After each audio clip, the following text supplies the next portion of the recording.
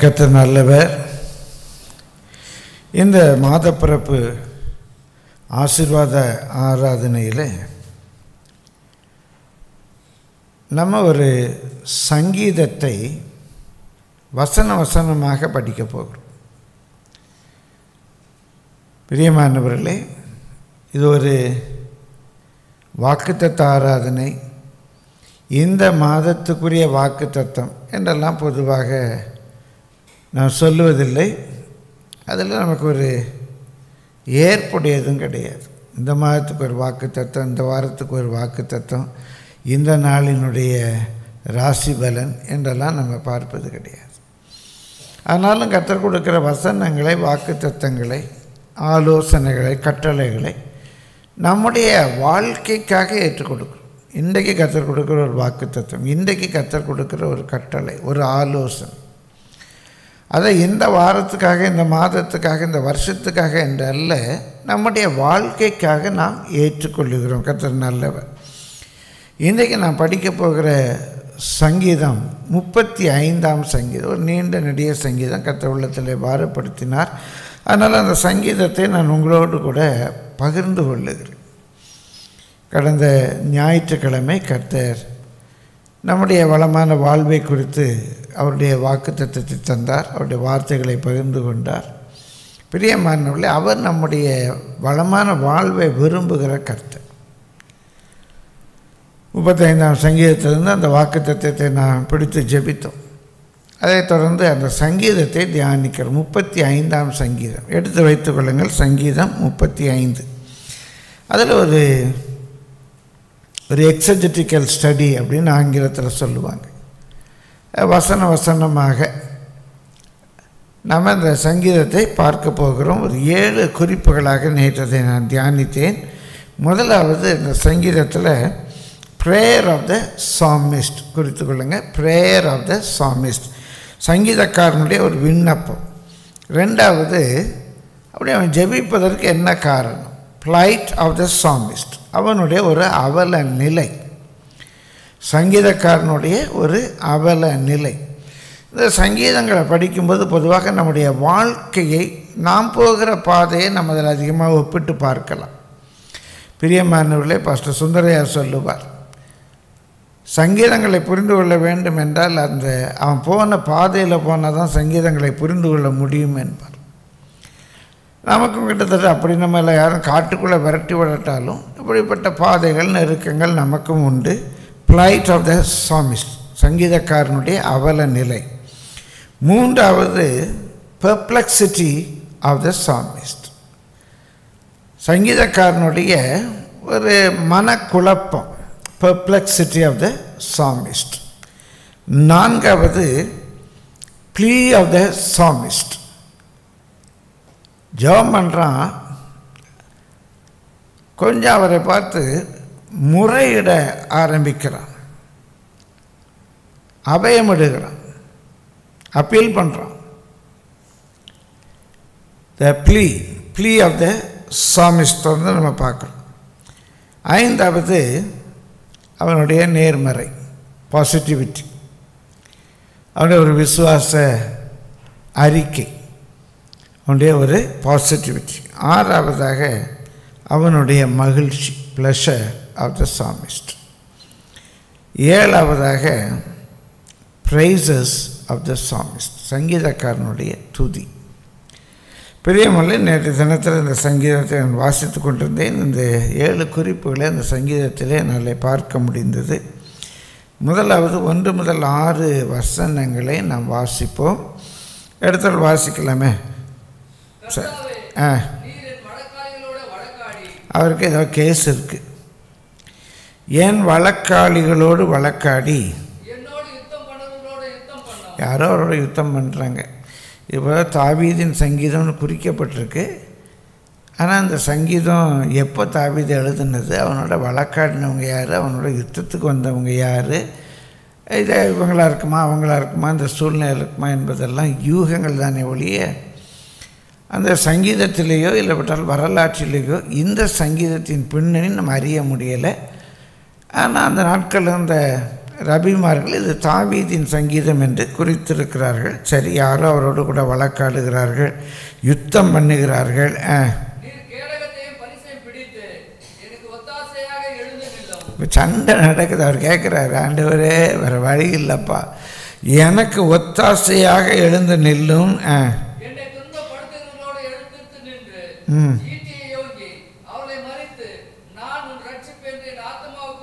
ஆண்டவர் என் மனசுக்கு தெரியணும் ஐயா. எலும்பு ஆண்டவர். ஈட்டி எடும்.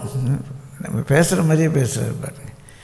ஈட்டி எடுத்து ஓங்கி ஆண்டவரே அவனை எதிர்த்து நின்று மறித்து அவன் முன்னேறிக்கிட்டு இருக்கான். மறித்து ஆண்டவரே என் ஆத்மாவுக்கு சொல்லும். ஏன்னா அழகாக இருக்குல்ல.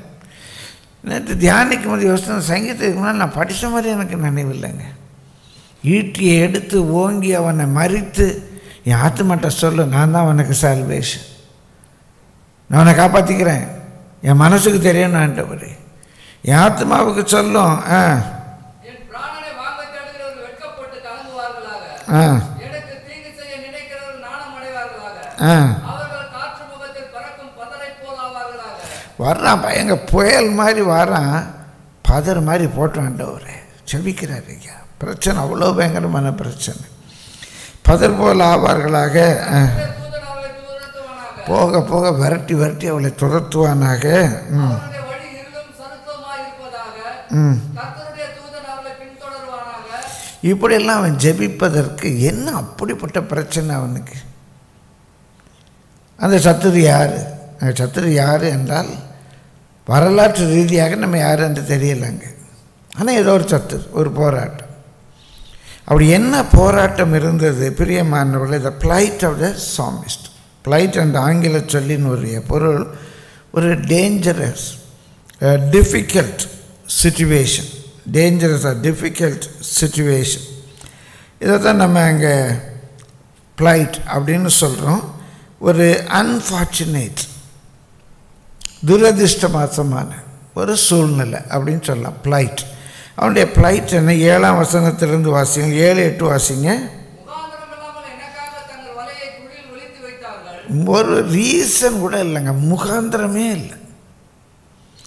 முகாந்திரம் இல்லாமல் என்னை பகைத்தார்கள். இயேசு சொல்வார். இயேசுவை பற்றி தீர்க்கசனத்தில் கோட் பண்ணுவார். அந்த வேத வாக்கியம் நிறைவேறத்தக்கதாக. இந்த வேத பகுதியான முகாந்திரம் இல்லாமல் பகைத்தார். நான் பள்ளியில் வேலை பார்த்து கொண்டிருக்கும்போது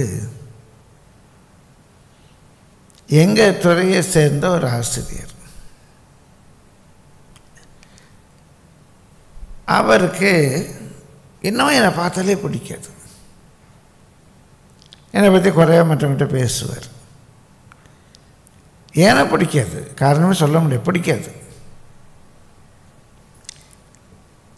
அதில் என்ன வேடிக்கை என்றால் அவர் கிறிஸ்தவர்.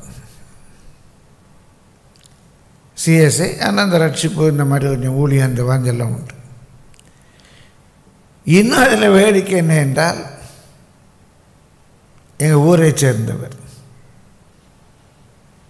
இன்னும் அதில் வேடிக்கை என்னவென்றால் எங்கள் கல்லூரியிலேயே படித்தவர். எனக்கு அவர் ரொம்ப பிடிக்கும். அப்போது அங்கே இருந்த ஒரு ஒரு ஆசிரியர் எனக்கு ரொம்ப அன்பானவர். அவர்கிட்ட போய் கேட்டார் ஏன் உங்களுக்கு சைமன் சாரை பிடிக்கல? உங்களுக்கு ஏன் அவர் உங்களுக்கு ஒரு வார்த்தை கூட பேச மாட்டேங்கிறாரு. பேசினாலும் சந்தோஷமாக பேசுகிறாரு உங்களுக்கு ஏன் சைமன் சாரை பிடிக்கல? அப்போ அவர் சொன்னாராம் என்னன்னே தெரியல எனக்கு பாஸ் சைமன்னாலே எனக்கு பிடிக்க மாட்டேங்குது அப்படின்னார் இருப்பாங்க இங்கே உலகத்தில். ரீசனே இல்லாமல் பகைப்பாங்க. இப்போ அந்த தாவீதுக்கு விரோதமான சத்துரு எதுக்கு அவனை பகைக்கிறான்னே தெரில இதான் ரீசன் இதனால் பகைக்கிறான்? அப்படி இல்லை. உங்கள் வீட்டில் இருப்பாங்க குடும்பத்தில் இருப்பாங்க. முகாந்திரமே இல்லாமல் பகைப்பார். அவர் சொல்கிறான் பாருங்க அவனுடைய பிரச்சனை என்ன? முகாந்திரம் இல்லாமல் எனக்காக தங்கள் வலையில் குழி என்ன தங்களுடைய வலையை குழியிலே ஒழித்து வைத்தார்கள்.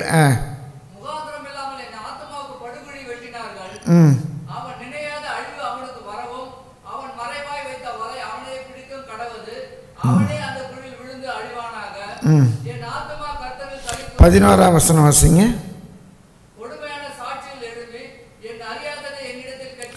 கொடுமையாக எனக்கு விரோதமாக ஆமாம் நீ தான் செஞ்ச. நீ இப்படி தான் சொன்ன. நீ இப்படி தான் பண்ணுன.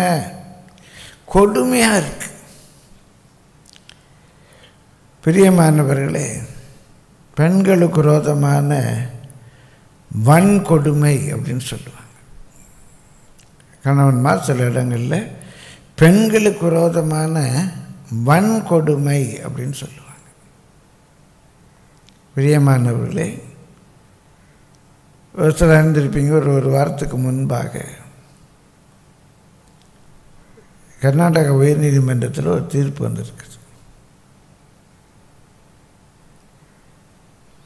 கணவன் இடத்துல சண்டை பிடிப்பது கணவனுக்கு விரோதமான வன்கொடுமை. அவங்க பயன்படுத்தியிருக்கிற வார்த்தை தமிழில் சித்திரவதை.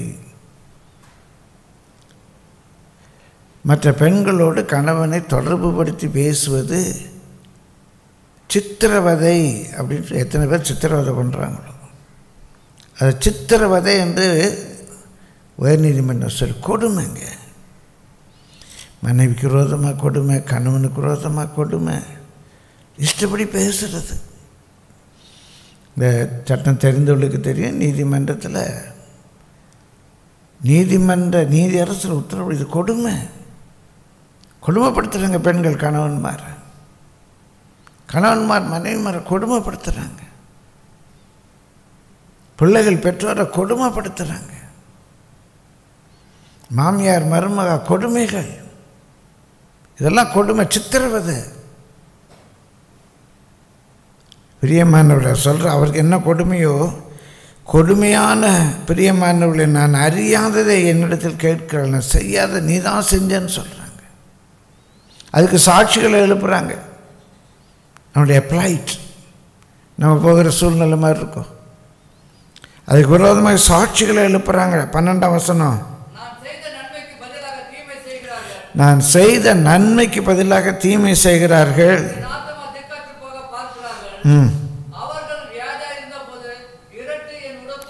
அவங்க கஷ்டப்படும் போது நான் வேதனைப்பட்டேங்க. அவங்களுக்காக ஜெபம் பண்ணேன். அவர்கள் வியாதியாக இருந்தபோது ரெட்டு என் உடுப்பாக இருந்தது. ம். நான் ஜெபிச்சு ஒன்றும் பிரயோஜனம் இல்லை ஜெபிச்சேன். நான் ஜெபிச்சு ஒன்றும் பிரயோஜனம் இல்லை ஆ. ஆ நான் அவனை என்னுடைய சிநேகிதனாகவும் சகோதரனாகவும் பாவித்து நடந்து கொண்டு யாரை பற்றி சொல்கிறாருன்னு தெரிலங்க நான் முன்பு சொன்னது போல் வரலாற்றிலே இது எப்போ நடந்தது என்றும் தெரியலை. இது அஹித்தோபேலா அப்சலமா யாரை பற்றி சொல்கிற சவுலா நமக்கு தெரில இல்லை வேற ஒரு சூழ்நிலையா? இது சங்கீத தாவீதுக்கு எழுதுனதாக குறிக்கப்பட்டிருக்கு.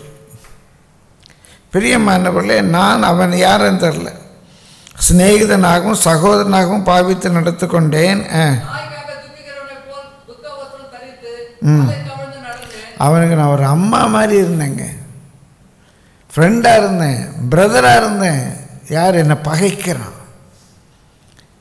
முகாந்திரம் இல்லாமல் அவன் என்னை பகைக்கிறான். அவன் வியாதியாக இருக்கும்போது நான் உட்காந்து அழுது ஜெபம் பண்ணிக்கிட்டு இருந்தேன். இன்னைக்கு அவன் எப்படா இவன் குழியில் விழுவான் அப்படின்னு சொல்லி எதிர்பார்த்துக்கிட்டு இருக்கிறான். இன்னும் பயங்கரமான கொடுமை பாருங்க. வாசிங்க. எனக்கு ஒரு என்னங்க இப்படி எழுதியிருக்குது? நான் இன்னொரு முறை கூட இப்படி இருக்கா பைபிள்னு யோசித்தேன். எனக்கு ஒரு கஷ்டம்னா கூட்டம் கூட்டி பேசுகிறீங்களா மீட்டிங் போடுறீங்களா? கேட்க தோணுது. எழுதியிருக்குங்க பைபிளில். எனக்கு ஒரு கஷ்டம்னா அவங்க சந்தோஷப்பட்டுவே கேட் மீட்டிங் வைக்காங்களாம். அந்த இதில் சொல்லுவாங்க அரசியல் கேட் மீட்டிங் கம்பெனிக்கு முன்னால் இந்த கேட் வாசல்மோம்ல கேட் வாசல் நடு சென்டர் சைடு ஓரம் ஆ? அந்த மாதிரி கேட் வாசலில் மீட் பண்ணி மீட்டிங் வைப்பாங்களாம். கத்தர் பார்த்துக்கிட்டு இருக்காரு. கத்தர் பார்த்துக்கிட்டு இருக்காரு மீட்டிங் போடுறியா?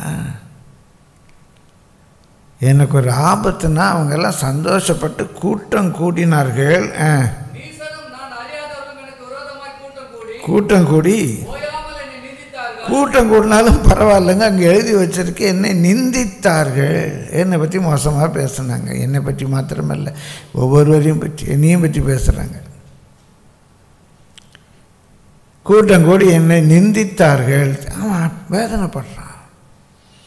அது அவனுடைய பிளைட் சங்கீதக்காரனுடைய பிளைட் என்னை நிந்தித்தார்கள் ஆ. இந்த ரொட்டி துண்டுக்காக. ஏதோ ஒரு ஒரு சின்ன காஃபிக்காக இச்சகம் பேசுகிற பரியாசக்காரன். பெரிய மேலே ரொட்டி தொண்டு தூக்கி போட்டால் போதும் வாழாட்டிடுவாங்க அப்படிப்பட்டவங்க. பைசா கொடுத்தா போதும். அங்கே எழுதியிருக்குங்க நான் கூட்டி சொல்லலை குறைச்சி சொல்லலை. அப்பத்துக்காக இச்சகம் பேசுகிற பரியாசக்காரரோடு சேர்ந்து கொண்டு ஏ ஏ பற்கடிக்கிறார்களாம். ம். என்னப்பா மிஞ்சி பண்ண என்ன ஒரு புற வாங்கி கொடுப்பானா? பட்டர் பிஸ்கட் வாங்கி கொடுப்பானா? ஏ ஒண்ணா? அதுதானே பேசுறீங்க? இச்சகம் பேசுகிறார்கள். அப்படி எழுதியிருக்குங்க. இச்சகம் பேசுகிற மனுஷனோட சேர்ந்து. பிரியமானவர்களே இவ்வளோ பயங்கரமாக இருக்குது அந்த சூழ்நிலை அவனுக்கு என்ன குழப்பம் வருது பாருங்கள் பதினேழாம் வசனம் மூன்றாவது பெர்ப்ளெக்சிட்டி ஆஃப் த சாமிஸ்ட் ஏன் இவ்வளோ தூரம் ஜெபிக்கிறான் ஆண்டவரை ஈட்டியோடும் எனக்காக யுத்தம் பண்ணலாம் ஜெபிக்கிறான்னா இப்படி ஒரு நெருக்கத்தின் வழியை அவன் போய்கிட்டு இருக்கிறான். முகாந்திரம் இல்லாமல் அவனை பகைக்கிறாங்க. அப்பத்துக்காக ஒரு பட்டர் பிஸ்கட்டுக்காக மற்றவர்கள் விரோதமாக பேசுகிறவங்க சேர்ந்து கொண்டு பற்கடிக்கிறாங்க. இப்போ அவருக்கு ஏன் இந்த குழப்பம்? அந்த வார்த்தை வாசிக்க பாருங்கள் பதினேழு ஆண்டவரே எதுவரைக்கும் இதை பார்த்து கொண்டிருப்பேன் அவன் இதில் நீ சும்மாவே இருக்கிறீர. இப்படிலாம் செய்கிறாங்க நீ சும்மாவே இருக்கிறீர். ஒன்றும் பண்ண மாட்டேங்கிறீர்.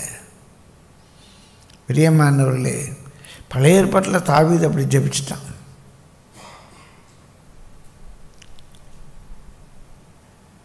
எலியா எலிசா அப்படி ஜெபிச்சிட்டார். கரடி வந்துடுச்சு. பிள்ளைங்களெல்லாம் அடித்து தின்னுடுச்சு. மொட்டை மொட்டைன்னு சொன்னதுக்கு. ஆனால் இயேசு சொல்கிறாரு நமக்கு அந்த ஆவி வேண்டாம் எலியாவுக்குடி இருந்து எலி. எலிசா செய்தது போல் நம்ம செய்ய முடியோவானே அப்படிலாம் நம்ம வானத்திலேருந்து அக்கினி இறக்கூடாது சத்துருக்களுக்காக வேண்டிக்கோப்பா. ஏன்னா உனக்கு விரோதமாய் எழும்புகிறவர் உன்னோடு யுத்தம் பண்ணுகிறவர் உண்மையில் எரிச்சலாக இருக்கிறவர் உன்னோடு வழக்காடுகிற ஒன்றுமில்லாமல் இல் பொருளாவார். சில வேலைகளில் அவர் படுகிற பாடு கஷ்டங்களை பார்க்கும்போது ஆண்டவரே அவங்க மேலே நான் வருத்தப்பட்டதுக்கு என்னை மணியும் மணியும் மணியும் என்று தான் ஜெபிக்க தோன்றுகிறது. நம்ம புதிய ஏற்பாட்டு. ஆனால் அந்த வேதனை பழைய ஏற்பாட்டில் ஒன்று தான் புதிய ஏற்பாட்டிலையும் ஒன்று தான். ஜபம் வித்தியாசம். அவனுடைய பெர்ப்ளெக்சிட்டி குழப்பம் என்ன? ஆண்டவரே நீ எவ்வளோ நாள் தான் சும்மா இருப்பீர்? எது வரைக்கும் பார்த்து கொண்டிருப்பெல்லாம் செய்கிறாங்களே கூடி கூடி பேசுகிறாங்களே முகாந்திரம் இல்லாமல் ஒரு ரீசன் இல்லாமல் என்னை பகைக்கிறாங்களே. அவங்க கஷ்டப்பட்டால் நான் வேதனைப்பட்டேன். நான் கஷ்டப்பட்டால் அவங்க சிரிக்கிறாங்க. வேணும் வேணும் இன்னும் வேணுங்கிறாங்க. எவ்வளோ நாள் தான் இதெல்லாம் நீ பார்த்து கொண்டிருப்பீர்? ஒன்றும் புரியலையே. அவன் சொல்கிறான் பாருங்கள் எது வரைக்கும் இதை பார்த்து கொண்டிருப்பீர்? ஆ. ஆத்மாவை அழிவுக்கும் எனக்கு அருமையானதை சிங்கக்குட்டிகளுக்கும் தப்புவியோ ஆண்டவரே எனக்கு அருமையானதை சிங்க குட்டிகளுக்கும் தப்பு ஆண்டவர். எவ்வளவு நாள் இதை பார்த்து கொண்டிருக்குது ஐயா? சிங்க குட்டிகளுக்கு தப்பு அப்படி சிங்க குட்டி மாதிரி இருக்காங்க. எப்படா கடித்து துப்பலாம்னு இருக்காங்க. என் ஆத்மாவை தப்புவியுங்கிறாரு. தொடர்ந்து ஜபமாக இல்லாமல் அவருடைய ப்ளீ அவர் முறையிட ஆரம்பிக்கிறார். கதறார் முதலாவது ஜெபிக்கிறாரு. இப்போ முறையிடுறார் பாருங்க. பத்தொன்பதாம் வசனத்திலிருந்து வேகமாக வாசித்து கடந்து போவோம். ஆ. இது வேற கண்ணடிக்கிறாங்கப்பா ஒருத்தன் ஒருத்தர் பார்த்து கண் சிம்பிட்டான் கண்ணால் பேசிக்கிறாய் பத்தியா? வரமாட்டேன் கண் சிம்பிட்ட தெரில பயக்க வயக்கம் இல்லை என்ன பண்ணுறது இதுக்குங்க பைபிளில் நமக்கு விரோதமாக கண்ணை சிமிட்டுறானுங்களாம் ஐயா. அப்படியா உங்கள் ஆஃபீஸில் உங்கள் ரிலேட்டிவ்ஸ் உங்கள் பணித்தலங்களில் நடக்கும்? என்ன செய்கிறாங்களா என் அவங்க என்ன செய்றாங்க?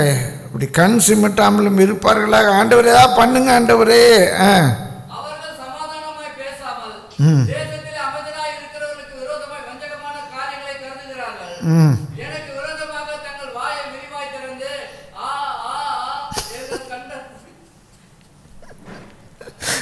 இருக்காங்கல்ல. அழகாக வாசிக்கிறாங்க. ஆ. எனக்கு விரோதமாக ஆங்கிறாங்களாம் ம் எனக்கு தெரியும் நான் பார்த்தேன். ஆ. அப்படி சொல்கிறாங்களாங்க ஆ கர்த்தாவே நீர் இதை கண்டீர் மௌனமாகாதையும் ஆ ஆண்டவரே எனக்கு தூரமாகாதே என்ன ஆண்டவரே இப்படிலாம் பண்ணுறாங்க நீ உட்காந்துக்கிட்டு இருக்கு பண்ண பண்ணு ஆண்டவரே அப்படிங்கிறார். ஏதாவது பண்ண நம்ம இப்போ என்ன ஜெபிக்கிறோம்? ஆண்டவரே மன்னிச்சிடும் ஜெபிக்கிறோம். சங்கீதக்காரன் அந்த வேதனை தாங்க ஆண்டவர் ஆண்டவரே ஏதாவது பண்ணு ஆண்டவரே அப்படின்னு ஜெபிக்கிறார் பாருங்க. வாசிங்க. என் வழக்கை ஆ ஆண்டவரே எனக்கு நியாயம் செய்யவும் என் வழக்கத்தை என் வழக்கை ஆ வழக்கை தீர்க்கவும் விழித்துக் கொண்டு எழுந்திருளும் ம், தூங்கிட்டு இருக்காருப்பா. ஆண்டவர் அவருக்கு தாவிது கோபம் வருது. தூங்கிட்டு இருக்கிறீரா? மௌனமாக இருக்கிறீரா? கொஞ்சம் விழித்து எழும்பு. ஏன்னா தூங்கிட்டா இருக்கிறது கோபம் வேதனை தாங்க முடியல. ஆ. ம்.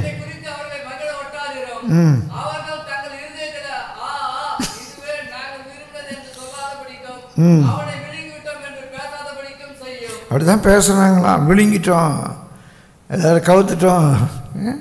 ஏதாவது சிரிக்கிறத பார்த்தா எல்லாம் நிறைய பேர் இந்த சூழ்நிலையில் போகிறீங்க போல். பெரிய மலை அப்படி செய்- பேசாதபடி செய்யும் அவருக்கு ஏதோ ஒரு ஆபத்து. ஒரு வியாதி பலவீனம் ஒரு கஷ்டம் ஒரு நஷ்டம். ஏதோ ஒரு ஆபத்து அவருக்கு வந்திருக்கு. என்னன்னே புரியலை. எந்த சூழ்நிலையில் இப்படி போனார்னு புரியலை. எனக்கு நேரிட்ட ஆபத்துக்காக அவங்க என்ன பண்ணுறாங்க சந்தோஷப்படுறாங்க. அவருக்கு வேணும். அவர் செஞ்சதுக்கு வேணும். வேணும் வேணும் அவருக்கு. ஆண்டவரே அப்படி அவங்கள சந்தோஷப்பட விடாதேயும். ஆ.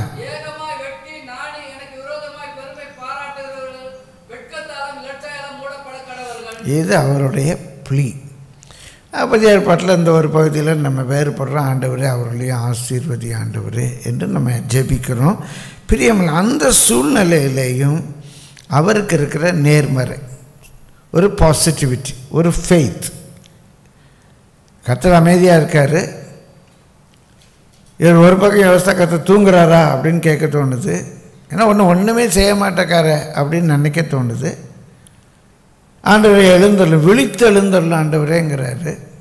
ஆனால் அதே போல அவருக்கு ஒரு பக்கத்தில் அந்த நெருக்கமான சூழ்நிலையில் அங்கே தான் நம்ம பக்தனை பார்க்கிறோம். அவருக்கு ஒரு விசுவாசம் இருக்குது வாசிங்க. ஆ.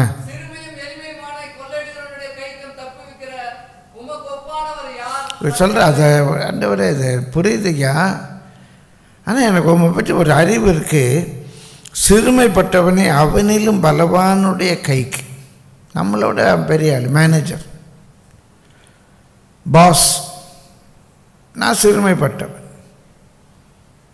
அவன் பெரிய ரவுடி. பயங்கரமான கொடுமைக்காரி ரொம்ப இன்ஃப்ளூயன்ஷியல் பர்சன் நம்மளால் ஒன்றும் பண்ண முடியாது. ஆனால் சிறுமைப்பட்டவனை அவனை விட பலவான். அவன்கிட்ட மோதவே முடியாது. அடிச்சானா பல்லம் ஊன்றும் நம்மளோட ரொம்ப பலவான். அவன் ஏற்று நிற்க முடியாது. அவனால் ஒன்றுமே இல்லைங்க. அவனுக்கு இருக்க பணபலம் அவனுக்கு இருக்கிற ஆள் பலம் அவனுக்கு இருக்கிற செல்வாக்கு நம்ம என்ன பண்ண முடியும்? ஆனால் சிறுமைப்பட்டவனே அவனிலும் பலவானுடைய கைக்கு பலவனுடைய கைக்கும் சிறுமையும் எளிமையுமானவனே கொள்ளையனுடைய கைக்கும் தப்பு வைக்கிறவர். அவருக்கு யாருங்க ஈடாக இருக்கா? அப்படி அவர் தப்பு வைக்கிறவர். அவருக்கு ஈடாக யார் இருக்கா? தப்பு வைக்கிற அவருக்கு யாருமே இல்லை. நமக்கு ஒப்பானவர் யார் கர்த்தாவே என்று என் எலும்புகள் எல்லாம் சொல்லும். நம்ம எலும்பு சொல்லும். அந்த எலும்புகள் எல்லாம் சொல்லும் என்பது நம்முடைய நம்பிக்கை சொல்லும் அப்படின்னு எடுக்கலாம். இன்னும் நம்முடைய ஸ்ட்ரக்சர் நான் வேதனைப்படுறேன் கொலாப்ஸ் ஆகிறேன். ஆனாலும் எனக்குள்ள ஒரு நம்பிக்கை இருக்குது சிறுமைப்பட்டவனை அவனிலும் பலவானுடைய கைக்கு தப்பு வைக்கிறவன். அங்கே தான் சொல்கிறார் இருபத்தி ஏழாம் வசனம் வாசிங்க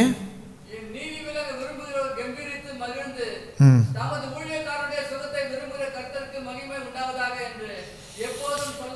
இந்த சூழ்நிலை அவருக்கு இருக்க ஒரு மகிமை ஒரு ஒரு நம்பிக்கை ஒரு நேர்மறை ஒரு பாசிட்டிவிட்டி ஒரு ஃபெய்த் தம்முடைய ஊழியக்காரருடைய ப்ராஸ்பேரிட்டி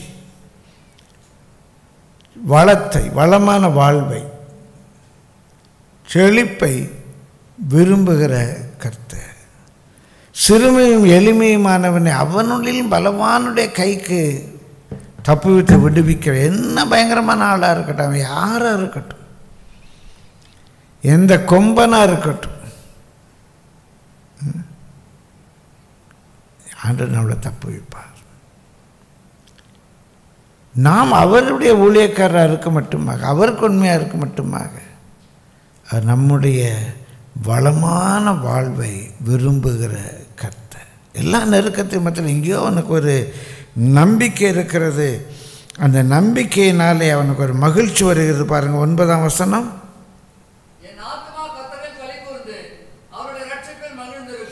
எல்லாம் எனக்கு தெரியுது. இப்படியெல்லாம் முகாந்திரம் இல்லாமல் என்னை பகைக்கிறாங்க கொடுமைப்படுத்துகிறாங்க அவங்களுக்காக நான் ஜெபம் பண்ணியிருக்கிறேன் உபவாசம் இருந்திருக்கிறேன். ஆனால் என்னுடைய வேதனையில் ஆபத்தில் அவங்க சந்தோஷப்படுறாங்க. கேட் மீட்டிங் போடுறாங்க கூட்டம் கூட்டி பேசுகிறாங்க சிரிக்கிறாங்க. வேதனையாக இருக்குது ஆனாலும் கர்த்தர் எனக்காக கிரியை செய்வார். கர்த்தர் உங்களுக்காக கிரியை செய்வார். கத்தருடைய ஊழியர்களாக கத்தருடைய தாசர்களாக கத்தருடைய பிள்ளைகளாக இருக்கிற உங்களுக்காக கர்த்தர் கிரியை செய்வார். இந்த நம்பிக்கையினாலே மாத்திரம் மகிழுகிறோம். ஒரு பெரிய கழிகூறுதல் இருக்குது. இந்த நம்பிக்கையினாலே ஒரு பெரிய கழி இங்கே தான் அவர் சொல்கிறாரு கர்த்தர் தம்முடைய ஊழியக்காரருடைய வளத்தை விரும்புகிறவர். எப்படிப்பட்ட சூழ்நிலை இருக்கட்டும். பிரியமானவர்களே நான் யோசித்து பார்த்தேன் பார்க்கிறேன். அந்த சத்துரு யாருன்னு தெரில யாரெல்லாம் அவருக்கு விரோதமாய் கூட்டம் கூடி பற்கடித்தார்கள்னு தெரியலை பரியாசம் பண்ணாங்கன்னு தெரியல சந்தோஷப்பட்டாங்கன்னு தெரியலை. பிரியமானவர்களே ஒரு பயங்கரமான காரியம் உண்மை. அவன் யாருன்னு சொல்லி அட்ரஸே இல்லாமல் போயிட்டாங்க. உன்னோடு கூட வழக்காடுகளை ஏசாயா பதினொன்று நாற்பத்தொன்று பதினொன்று. உன்னோட வழக்காடுகளை தேடியும் காணாது இது யாராக இருக்கும்? ஐத்தப்பேலா அப்சலோமா? சவுலா? சீமேயா? யாராக இருக்கும்? ஐயா வேதத்திலே அவங்க அட்ரஸ் இல்லாமல் போயிட்டாங்க ஐயா. தேடி பார்த்தாலும் அவங்கள யாரும் கண்டுபிடிக்க முடியலை. ஆனால் தாவீதின் பேர் இன்றைய வரைக்கும் நினைத்திருக்கிறது. உலகத்தில் குறிப்பாக யூதர்கள் கிறிஸ்தவர்கள் முகமதியர்கள் மூன்று இன மக்கள் தங்களுடைய பிள்ளைகளுக்கு விடுகிற பிரியமான பெயர்களில் ஒன்று ஆபிரகாம் அடுத்தது தாவீது. பயப்படாதீங்க. உங்கள் பேர் நிலைத்து நிற்கும். தாவீதுக்கு எவ்வளவோ குறை இருந்தது.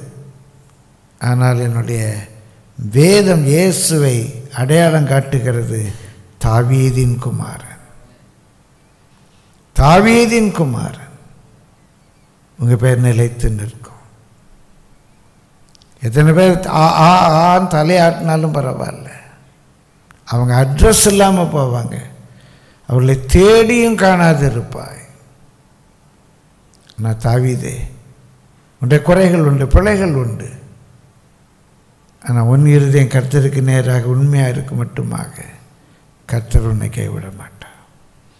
அதனால அவர் சொல்கிறாரு என் இருதயம் கர்த்தருக்குள்ளே மகிழ்ச்சியாக இருக்கும். கடைசியாக பிரியமான பதினெட்டாம் வசனம் புகழ்வேன். இருபத்தி எட்டாம் வசனம் கூட. இவ்வளோ நெருக்கங்கள் இருந்தாலும் இப்படிப்பட்ட சூழ்நிலை வழியாக நான் கடந்து போனாலும் நான் எப்போதுமே துதித்து கொண்டிருப்பேன். எப்போதுமே ஸ்தோத்திரம் பண்ணி கொண்டிருப்பேன்.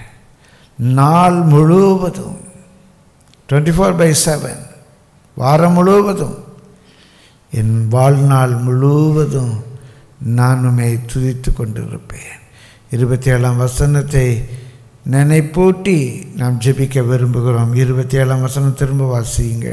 என் நீதி விளங்க விரும்புகிறவர்கள் கம்பீரித்து மகிழ்ந்து. விரும்பல் கம்பீரித்து மகிழ்ந்து தமது ஊழியக்காருடைய சுகத்தை அந்த சுகத்தை என்பது சுகத்தை மாத்திரமல்ல அவருடைய செழுமையை ப்ராஸ்பேரிட்டியை வளத்தை விரும்புகிற கர்த்தருக்கு மகிமை உண்டாவதாக என்று சொல்லுவார்களாக. நம்ம எல்லாரும் எளிமை நிற்போம் உங்களுடைய வளமான வாழ்வை விரும்புகிற கர்த்தர் இருக்கிறார்.